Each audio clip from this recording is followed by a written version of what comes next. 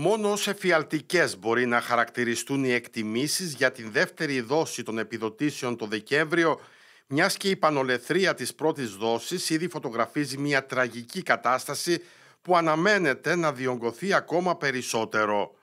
Στη διάρκεια της εκπομπής «Ωρα Εχμής», ο πρόεδρος των μικρών συνεταιρισμών της ΕΘΕΑΣ Μύρος Χιλετζάκης υπογράμμισε πως δεν υπάρχουν και πολλά περιθώρια για βελτίωση της κατάστασης στην δεύτερη δόση, χαρακτηρίζοντας ως εφιαλτική την καταβολή που θα έρθει, μιας και πολλές περιπτώσεις ίσως είναι και μηδενικές. Αν τα σενάρια συνεχιστούν όσοι έχουν, ναι, θα είναι εφιαλτική αν δεν διορθωθούν τα 240.000 αγροτεμάχια που είναι στο monitoring σήμερα, που στο Δήμο Βιάνου, εδώ, του φίλου μου, του Παύλου, του Παριτάκη, του Δημάρχου, βλέπουμε λεώνες που είναι 200 χρονών και 300 και το monitoring τους βγάζει μαύρους. Δηλαδή δεν μπορεί να ξεκαθαρίσει εάν αυτό είναι ελιά ή δεν είναι. Επειδή οι ελιές είναι μεγάλες, ο παραγωγός μπορεί να μην τις έσκαψε και να φαίνεται από το δορυφόρο ένα τεμάχιο και να μην μπορεί να ξεχωριστεί το ελαιόδεντρο.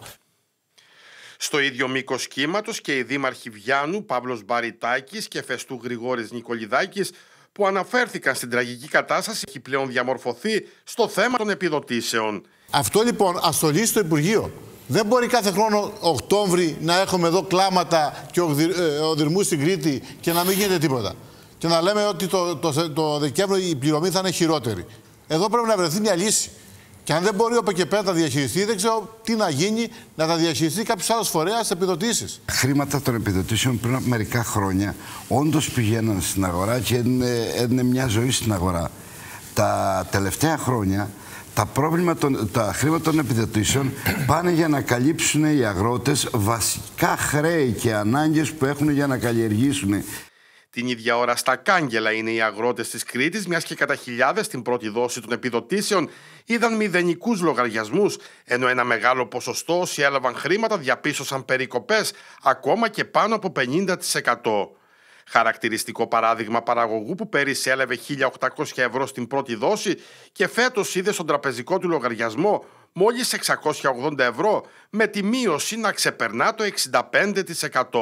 Και πήγε και την πήραν τη φωτογραφία. Έχεις σήμα το λιόφυτο για να στείλουμε επιτόπου; Mm -hmm. Γιατί πρέπει να το στείλεις εκείνη τη στιγμή από το λιόφυτο. Δηλαδή, μάλλον δεν έχει καταλάβει όταν ο, ο Ευρωπαίος σχεδιάζει την επόμενη μέρα, δεν έχει καταλάβει ότι είναι γερασμένη η Ήπεθρο, ότι σήμερα καλλιεργούν την Ήπεθρο μεγάλοι άνθρωποι, και αυτά δεν τα λέει ο Σιλετζάκης από την εκπομπή του Δασκαλάκη. Τα λένε τα στοιχεία. Αίσθηση προκάλεσε και η τοποθέτηση του γραμματέα του Αγροτικού Συλλόγου Ιεράπετρα Μιχάλη Βιαννιτάκη, που έκανε λόγο για πολιτικές σκοπιμότητες σαν τον ΕΛΓΑ στο θέμα αποζημιώσεων από καταστροφές. Στον ΕΛΓΑ πραγματικά ε, τα σκάνδαλα που υπάρχουν μέσα δεν, δεν, ούτε μπορούμε να τα διανοηθούμε. Εκεί λοιπόν τα θερμοκηπ... οι θερμοκηπιακές καλλιέργειες γενικότερα δεν έχουν καμία τύχη ούτε καν αναφορά μέσα στον, οργανι... στον οργανισμό λειτουργίας. Τι εννοείται τα σκάνδαλα στον ΕΛΓΑ, κύριε Βιαννίτα, γιατί αυτό που λέτε τώρα είναι μια πολύ σοβαρή καταγγελία.